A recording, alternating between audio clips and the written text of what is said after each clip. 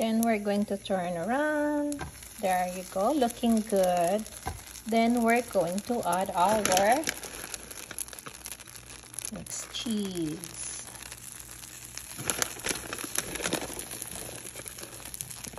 Very easy.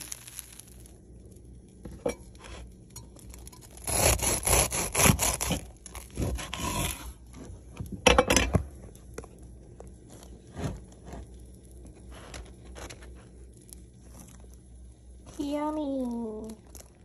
Yummy, yummy. Grilled cheese, very easy. Now we're going to taste our grilled cheese. Mmm. Super easy breakfast. Thanks for watching guys. Don't forget to like, share, and subscribe to my channel.